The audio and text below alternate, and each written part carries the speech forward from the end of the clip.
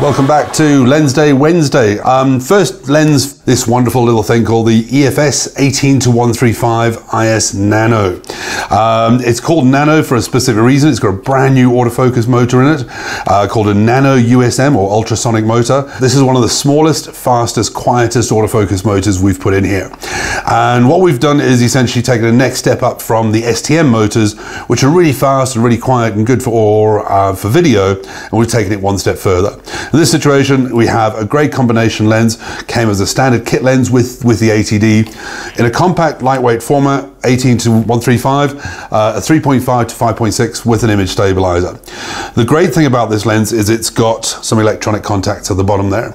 And it's the first lens we have that's got this capability, which takes this little thing called a PZE1. The PZE1 is essentially what we call a power zoom adapter, clips on the bottom of the lens, click, click in one side, lock it in on the other.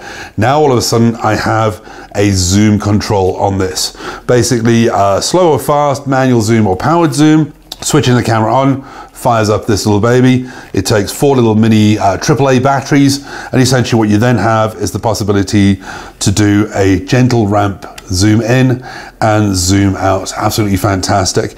Um, this is the first lens in our lineup specifically designed for that. And the great thing is um, it makes for very, very smooth uh, video zooms. As you can see, it started slowly, gets quite fast throughout the middle of the zoom and slows down. There's no hard clunk at either end of the zoom that you would have if you did that manually. Optical quality, very, very good for what we would classify as a kit lens. It's not L series by any stretch of the imagination. There is a little bit of distortion at, uh, at the 18 end of the lens, but from 24 it flattens up very, very, very nicely. Uh, predominantly aimed at video, but for stills, absolutely fantastic. Great lightweight build quality, uh, 3.5 to 5.6, not incredibly fast, but very, very simple and very straightforward. One of the best things you've got as a combination, if you look at it as a kit with the 80D, because the 80D has got Wi-Fi control, you can also have Wi-Fi control of that power zoom, which is astonishing. And that means I can have this camera on a tripod on location. Uh, I'll, I'll be sitting looking at something with my main camera, have an iPad connected to this one, zoom in, zoom out, start, stop recording, uh, hit focus points, take pho photographs. What an absolute pleasure. That combination is absolutely fantastic. And I like that a hell of a lot. From a general purpose point of view, you can't really go too, too far wrong with that focal range, 18 to 135, 35 more terms from 24 through to about 180.